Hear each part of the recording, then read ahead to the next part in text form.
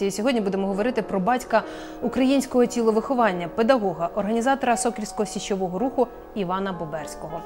Отже, про фундатора національної фізичної культури будемо згадувати у нашому ефірі із Іриною Фаріон, доктором філологічних наук, моєю співрозмовницею і співведучою. Вітаю! Вітаю. Ну і декілька слів з біографії Івана Боберського. Він народився 14 серпня 1873 року в селі Доброгостів, що на Львівщині. Родина мала давнє шляхетне походження і належала е, найімовірніше до гербу САС. Освіту здобув у самбірській класичній та першій українській академічній гімназіях, університетські студії в університетах Львова, Відня та Граца. Захоплювався ідеєю фізичної культури в українському товаристві Русь. Тут склав іспит на звання вчителя руханки в середніх школах. Боберський став професором, очолив товариство Сокіл Батько, був членом бойової управи і а, читарем УС. Власне, з чому полягала фізично-спортивна еволюція Івана Боберського?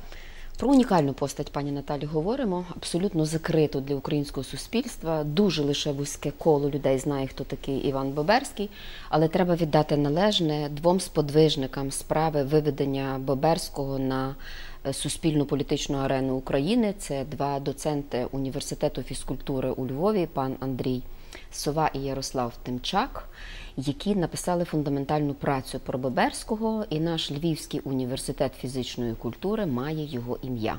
Починаючи з 2015 року, чому ім'я Боберського було закрите для українського суспільства? Нас привчили до того, що, начебто, спорт принесли нам совєти, навчили нас е, фізичного виховання, і е, там ця, е, цей вид людської діяльності дуже котувався, і, мовляв, ми лише пристали до цього напряму. А насправді зовсім все було не так. Отже, цей чарівний хлопчик, Іван, про якого ви сказали, народився в Галичині, в селі Доброгостові, Дрогобичина, в родині священника, священника дуже глибокого, який провадив е, широку просвітницьку діяльність, засновував просвіти, але священника, який дуже добре розумів, що суспільство має бути багате. Тому засновував кооперативи, максимально сприяв економічному розвитку селянства, але разом з тим дуже добре дбав про виховання своїх дітей. Дітей Як він цікаво це все встигав? і батько, пані Наталю, батько був автором унікального гасла, яке колись використовував один з наших президентів. Гасло звучало так: Думай по-українському. Тобто дітей виховували в дуже національно зорієнтованому дусі, незважаючи на те, що Західна Україна в той час була абсолютно сполонізована. Я дозволю собі зацитувати лише один епізод, який свідчить про те, е, як е, польська мова тоді абсолютно захоплювала е, середовище. І наскільки не можу знайти того уривка, і наскільки родина Боберських тому протистояла. Тобто, коли чули польську мову, то казали, нехай не цвенькають. Так, ми не хочемо того польського цвенькання чути, і це дивна річ, коли українець говорить польською мовою. Е, Тобто, в Так як родині... дивна річ, коли нині українець е, Звичайно, дозволяє собі розмовляти російською Звичайно, мовою. і ще й вважає, що він має на це право, та ще й на рівні закону і так далі. Е, Але цей хлопчик, навчаючись в самбірській гімназії, бездоганно вивчив німецьку мову. Е, Коли проводили з'їзд учителів у Галичині на найкраще знання німецької мови, то йому не було рівних, е, навіть, до речі, і серед е, поляків. Він захопився тим, освіту поглиблював свою у Львівському університеті і в університеті міста Граца, і повернувся до Львова уже як викладач німецької мови. Але разом з тим, подорожуючи світом, навчаючись в університетах Європи, він зауважив, що там особливе значення надають гімнастичному рухові, тобто рух, який працював на вишкіл людського тіла. Але цей вишкіл людського тіла обов'язково йшов паралельно із вишколом внутрішнього світу людини. Це у нас сьогодні склалося таке е, уявлення, що якщо ти спортсмен, то ти маєш якийсь ухил лише в один бік, а з іншим боком не зовсім тобі вдалося. Так от, коли Боберський повернувся до Львова, а саме викладати у Львівській академічній гімназії, то крім того, що він став на за відповідний час е, здобув ступінь професора, він почав викладати і так звану гімнастику, яку назвав чарівним словом руханка. В Галичині це було дуже звичне слово. Навіть у часи совєтські в табелі дитині мог- могли написати не фізична культура, а руханка. Особливо це стосувалося Франківщини. Ну, от саме він, Іван Боберський, спочатку була перша руханка, а потім і українська термінологія визначення тих чи інших спортивних напрямів. Та зверніть увагу, що ми живемо з вами в добу страшної англоманії. Ми падаємо під англійські терміни як дерева під пилу, абсолютно цьому не опираючись. А він людина, яка перфектно знала німецьку мову, інші мови, практично всі європейські мови. Що він робив передусім, творячи оцей руханковий е, м, А давайте наголосимо, е, власне, які е, слова з'явилися. Що значить термінологія? Кошиківка, баскетбол, відбиванка, волейбол, сітківка, теніс, Ситківка. Зверніть Ситківка, увагу, Вікіпедія пише неправильно. так. Ситківка, так. а, гаківка. Гаківка це гокей. Ми, до речі, в неправильній англійській формі його вживаємо. Має бути через г, а не через х. Так, Гокей, і, так. І, і футбол назвав копаний м'яч. Коп, копаний м'яч. Копаний Копаний м'яч, м'яч. так? Копаний м'яч. Ще назву кілька дуже важливих слів, е, наприклад, слово спорт. Звісно, що українські, українці слово спорт не вживали. Вперше його вжито, здається, у 906 чи в 903 році. е, Даруйте. Він вжив термін український спортовий кружок. Зверніть увагу на суфікс спортовий, а не спортивний, книжковий, спортовий, багатотомовий. Цей суфікс «ов» в 1933 році потрапив під е, заборони. Так от, український відповідник до слова спорт, нехай сьогодні послухають наші українці, як люди, які володіли практично всіма європейськими мовами, в своїй мові знаходили відповідники. А якщо тих відповідників не було, то вони творили своєю мовою, тому що мова має колосальні ресурси, тільки треба копнути і витягнути їх на поверхню. Так от, український відповідник до слова, до слова спорт розкішний змах. Змаг. Вони брали участь у змагові. І відповідно особа, яка змагається, називається дуже просто. Вона називається змагун. І пощо нам оцей композит спорт, спорт і мен, спортсмен. Ми маємо змагун. Далі йшла інша ще форма спорт, спортовець, де ми додавали суфікс наш питомий овець, щоб уникнути оцього чужого мен. Тепер зверніть увагу, що це змагун, воно абсолютно творилося за моделлю бігун чи сміхун, чи брехун, даруйте за таку форму. Е, Ще хочу звернути увагу на е, ем, е, таку форму, як прогульки, руханка, прорух, а зал для занять називався дуже чарівно. Там, де ми їмо. Це їдальня, там, де ми спимо, це спальня, там, де ми вітаємо людей, це вітальня. А там, де ми рухаємося, називалося рухівня. І е, Боберський це була людина синтезу трьох базових начал. Він вишколював своє тіло, він постійно працював над своїм внутрішнім е, інтелектуальним наповненням.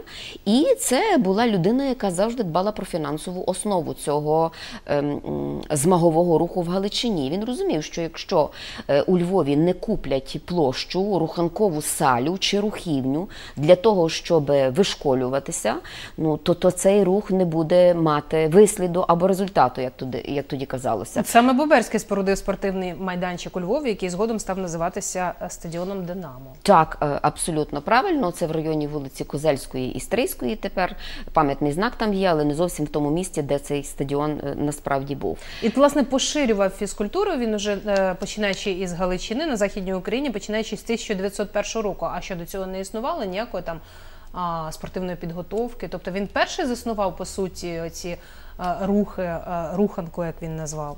Існувало, але що існувало, пані Наталі? Починаючи з 1894 року, існувала організація, що називалася Сокіл. Ця організація передбачала власне виховання, тілесне виховання людини, вправування. Паралельно із Соколом існувала ще одна організація, яка називалася Січ. Якщо Січ мала в основному мілітарне спрямування, так то Сокіл мало спрямування конкретно тіло виховання. Потім, у, на початку ХХ століття, здається, з 1908 року до 1918 року саме Боберський очолив організацію Сокіл е, батько і довів її, скажімо так, до свого пікового розвитку. А якщо ми говоримо про ці напрямки руху, то ще був і стрілецький згодом рух, і е, саме Боберський вважав, що сьогоднішній спортсмен рухових завтра повинен стати на захист батьківщини. Абсолютно правильно. Оце четвертий напрям роботи, який можна взагалі вважати базовим. Людина, яка е, фізично над собою не працює, не вишколює свого тіла, не гар... не загартовує його, стає проблемою для суспільства. Ця людина не може ні захистити себе, ні не може захистити своєї батьківщини. Звісно, що заносилося, як то казали свого часу в Галичині на війну 1914 року. І фактично усі ці діти, які вишколювалися в організаціях і Сокіл, і Січ, і е, спортивному, спортовому, як він казав, українському спортовому кружку, який він заснував у 906 році, стали прелюдією до заснування мілітарного е, корпусу українських січових стрільців. І цілком логічно, що Боберський став чотирем січових стрільців, і цілком логічно, що Боберський війшов до так званої бойової управи, яка годувала листопадовий зрив, що врешті завершилося історичною унікальною подією, яку ми будемо згодом відзначати. Листопадовий зрив, і саме вихованці е, Боберського у ньому брали найактивнішу участь.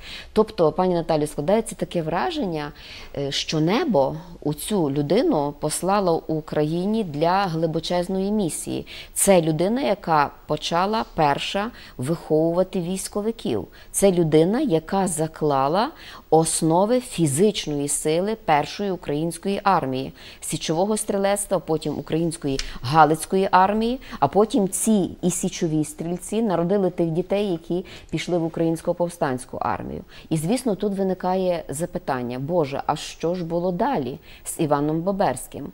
Чи міг він знайти застосування собі у цьому світі після того, коли його учні і він, скажімо так, умовно програли національно-визвольні змагання?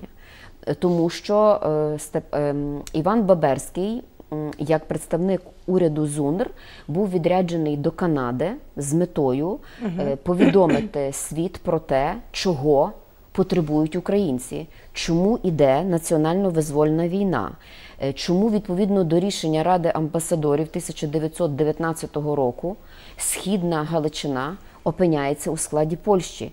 Це була колосальна трагедія для покоління Боберського. Як достукатися до е, сильних світу цього, що українці не є гіршою нацією, ніж, скажімо, поляки, що вони після роз- розпаду Австро-Угорської імперії так само потребують своєї держави, як і інші. Чи вдалося йому все ж таки достукатися, чи був він почути? Адже там, е, будучи в Америці, він неухильно популяризував Канаді, українське, так, так. зокрема у пресі, поширював діяльність е, керівника школи українського танцю Авраменка. Так, е, е, це один із напрямів діяльності, попри те, що він провадив дуже широку публіцистичну діяльність. Ну, от, зокрема, була з ним укладена карта українських поселень у провінціях Канади. Він перший, до речі, започаткував картування українців в Канаді, і він перший почав фактично літопис буття українців в Канаді. Це була людина, пані Наталю, яка весь час щось нотувала. Його можна вважати також літописцем часу. Крім того, він збирав кошти на підтримку е, і січового руху, і сокільського руху в Україні. Але разом з тим, на чому треба наголосити, він був у найтісніших зв'язках із зародженою в цей час українською військовою організацією УВО на чолі з Євгеном Коновальцем, тому що Євген Коновалець це був його. Учень, і коли Коновальця запитували, хто на вас мав найбільший вплив, то він, звісно, що називав е, Боберського, вчинок Мирослава Січинського, який убив польського намісника, і ще одну третю обставину. Але для нас надзвичайно важливо оцей зв'язок між вчителем і учнем. Тому відомо, що 5 тисяч доларів, які було зібрано тоді завдяки е, Боберському, а до речі, в українській бойовій управі він виконував функції скарбника. Зверніть увагу на це слово, не казначея, а саме скарбника. Ці гроші були передані саме для української військової організації, з якою почалася з якою почалася організація українських націоналістів. Степан Бандера на ту пору ще був е, маленький. Е, Тобто Боберський, е, перебуваючи за кордоном, провадив найактивнішу діяльність з популяризації українського національного руху і пошуку коштів для цього руху. Не може існувати жоден рух, не маючи для цього фінансової основи. У 1928 році сталася історична подія. Він приїхав до Львова. Він приїхав після десятьох років паузи, коли у 1918 році, як представник уряду ЗУНРу, він опинився у е, е, Канаді. Е, Представляв тоді цю місію українців на зарук. А Боберський був його заступником. Зустріч була дуже велична, пані Наталю. Тобто, на превелике щастя, суспільство тоді усвідомлювало, хто такий Боберський. Бо дуже часто українці вміють цінувати людину тільки тоді, вже коли вона відійде. Так, нація з елементами некрофільства. А тут суспільство усвідомлювало величину цієї людини. Реально його називали батьком тіловиховання. І батьком І цей батько тіловиховання вел- тіловиховання, а, Так. коли був ще референтом ЗУНР е, Західної Української Народної Республіки, він щоденно взяв за основу, що має проводитися обов'язково ранкова гімнастика і біг. Так, і саме той батько українського тіловиховання, як сказав про нього один із засновників пласту Тисовський, е, подарував нам слово пласт. Е, І сьогодні ця організація, на превелике щастя, розвивається. Дай Боже, щоб вона мала націєцентричний і мілітарний напрям, а не лише е, мандрівний. І як виникало це слово пласт, ми можемо тепер прочитати і в спогадах Тисовського, і від самого е, Боберського, і можемо дізнатися від сина Івана Франка, Петра Франка, тому що діти Івана Франка і Петро Франко, і Тарас Франко це вихованці е, Боберського, це його школа. Ем, Кажуть, що Тарас е, Петро Франко прийшов до хати і розповідав батькові про те, як, як, оце, оце, як оце назвати. О, о, ось це. Ну, от є пластуни, так? Ми знаємо це під впливом е, статті в пресі про кубанських козаків, які пластували, тому їх називали пластунами. І Франко, начебто, ненароком зронив це слово. Ну та як? Якщо вони пластуни, значить сама організація може називатися пласт. Так і виникла е, ця назва, пішла в світ. Ще дуже цікаво, пані Наталю. Саме в середовищі суперечок між Боберським і Тисовським виникла назва нашої мілітарної організації Українські січові стрільці. Там також були суперечки, як їх назвати, чи назвати їх січовими стрільцями, чи сокільськими стрільцями. Е, Перемогла е, думка Тисовського, а не Боберського, бо Боберський стояв на засадах. е, Сокільського, так би мовити, руху, коли Тисовський наголошував на січовому рухові, рухові мілітарному. До чого я це проваджу? Я проваджу до того, пані Наталю, що за творенням слів творилися насправді дуже поважні суспільно-політичні тенденції. Творилася українська мілітарна сила, творив, творилася гармонія розвитку тіла і душі. Один із найпотужніших інтелектуалів Галичини був найвправнішим і найвишуканішим зовні чоловіком. Кажуть, що у свої 65 років він мав фантастичний вигляд. Якщо мені, якщо я на цю цитату натраплю, то це буде просто фантастично. Який же ж він був е, на вигляд е, Боберський? Складно мені на цю цитату натрапити, але кажуть, що він завжди дивився. Догори очі, погляд був спрямований у далеке майбутнє. Таке враження, що ця людина усвідомлювала, що вона творить. Постава була дуже е, підтягнута, борідка була ледь е, помітна. Словом, цей чоловік був втіленням легкості, цілеспрямованості і неймовірної впевненості в собі. В гімназії його ще називали холєрським. Холєрським е, в нашій галицькій мові це означає, що людина надзвичайно темпераментна. У чому полягала його холєрськість? Його учні дуже боялися, тому що він був дуже суворий. Але за цією суворістю насправді е, крилася ну, доброта і вимогливість, тому що він був особливий у стосунках зі своїми учнями. Якщо, скажімо, зустрічалися професори, то вони лише на віддалі до студентів могли вітатися. А цей піднімав свого капелюха, е, казав прекрасне слово привітання, і е, залишився спогад від однієї студентки, яка панічно боячись Боберського, вирішила одного разу на занятті подратувати цього чоловіка, аби він звернув на неї увагу, бо на нього дивилися як на чоловіка на п'єдесталові. Даруйте, що я перескочила у його е, період викладацький, бо це все насправді в'язується з тим, якою він був персоною, і наскільки суспільство усвідомлювало його велич. Ну Про- і, і я добавлю Так. буквально декілька слів, е, оскільки він був викладачем, він працював багато з молоддю. От власне Так. знову ж таки повертаючись до спорту і фізкультури, він говорив про те, що насамперед популяризувати потрібно насамперед е, е, серед молоді і жіноцтва, що саме Так, цікаво. і він розумієте? запровадив це у гімназії Васильянок. Саме серед жіноцтва він запровадив е, змагунство. А самі ми прекрасно ми розуміємо, і дивіться, як живе Європа, здорове суспільство, оскільки е, займається спортом. Абсолютно правильно, це все І треба ми було. до цього повертаємося. Зараз е, іде така тенденція в українському суспільстві, що більшість людей також займаються спортом. Так, так, звичайно. Отже, професор Іван Боберський був дуже суворий, але недокучливий, вимагав абсолютного спокою на своїх лекціях. Всі учениці сиділи, мов статуї, не рухалися, беручи участь у навчанні німецької мови. Одного разу сиджу і чую, що не витримаю того примушеного спокою. Свисну. І серед тієї абсолютної тиші свиснула. Тепер Боберський викине мене з кляси, і я буду героєм. Чекаю, нічого не стається. Професор спокійно ходить по клясі і далі веде лекцію. А я з висоти мого геройства в лапках паду низько, дуже низько. Професор Боберський потрактував мене як штубака. Штубак це дурень по Галицькому. Я, як учителька, не раз користалася цієї лекції, бо ж не раз краще зігнорувати поступок учениці, ніж бити у великий дзвін. Ось такий він був е, за е, своїм характером маєстатичний, і такий він був у своїй суспільно-громадській і політичній діяльності. А ще він залишався справжнім українським патріотом, е, непідробної вірності національної ідеї, далекоглядної турботи про майбутнє, про молодь, спорт, зірцем відповідальності, працелюбства, сили волі і шляхетності. Так свого часу про нього написала ще одна дослідниця його життя і українського спорту Оксана Ваце.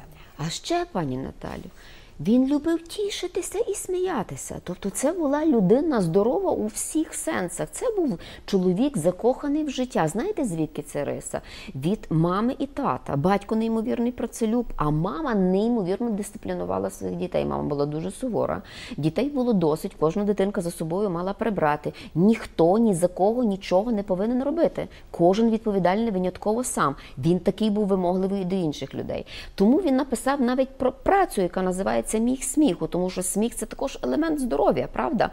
Крім того, його можна вважати одним із е, батьків української афористики. Він подарував нам таку кількість е, афористичних висловів, які сьогодні направду можна вважати компасом у, ем, ну, у нашому бутті. Наприклад, е, не плачем, а мечем. Не лебедіти, але стриміти. Наша сила в нас самих. А тепер дуже важливе: любов ближнього в історії народів не існує. Не існує любові ближнього в історії народів. В історії народів існує тільки інтерес. І в історії народів існує тільки сильний. Копаний м'яч вчить боронити і здобувати. Тобто, До як речі, через копаний м'яч найбільш був популярний серед е, спортивних напрямів е, спорту. Так, і копаний м'яч був найбільш популярний серед українських січових стрільців. У перервах між боєм вони активно це практикували. Ну і досі копаний м'яч залишається популярним не лише в Україні, а Звичайно, взагалі в виховання світі. тіла це шлях до виховання духу. Е, е, слово спорт подарували нам англійці. От що він казав, вивчаючи їхній досвід і в Англії, і в Німеччині, і в інших країнах. Англійці зауважили, що українцям бракує the spirit of cooperation. І перекладається нашою мовою. Подивіться, як він це цікаво перекладає: The spirit of cooperation. Духа лучності. Ми би сьогодні не сказали лучність, ми би сказали єдність. Духа єдності українцям е, бракує. Тому його батько казав, що є чотири, е, чотири гріхи українця: забув, проспав, не встиг, е, не знаю. І син був вихований на тому, що цього не можна застосовувати, а слід застосовувати лише одне: думай по-українськи. Він не просто думав по-українськи, він творив по-українськи. Крім того, це була людина дуже жорсткого ді- ді- діла, і він страшенно не любив марноти слів. Дякую за цікаву розмову. Дякую глядачам, що були разом з нами. Це був проект Велич особистості. Ми говорили про Івана Боберського. Залишайтеся на каналі далі і слідкуйте за нашими наступними ефірами.